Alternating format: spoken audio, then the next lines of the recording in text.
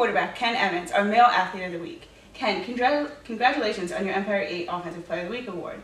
In the game-winning drive against Case Western, you accounted for all four of the first downs, and you got the team down the field quickly.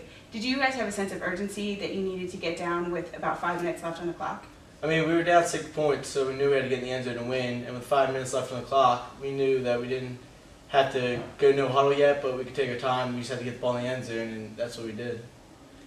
In your first season as starting quarterback in, at the collegiate level, you've put up some impressive numbers. What has been your biggest transition into starting at such a young age? Um, I mean, transition to the game is that on the field, it, it's a lot faster than it was in high school.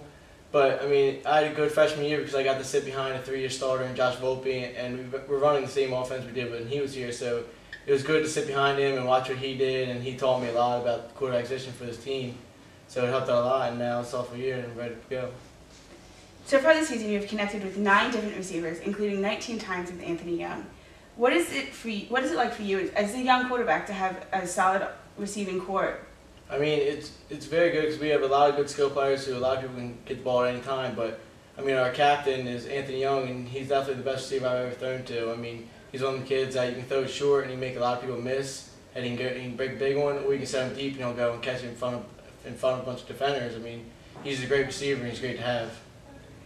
As a team enters the conference schedule, what what are your expectations in in your second year in the Empire 8? I mean, our team goal is to win the conference, and we, I mean, we all know we play in one of the hardest conferences in D three, but we feel like we're a young team and we're just getting better and better each week goes, and we're gonna take it one week at a time. But our main goal is to win the conference championship. Very good.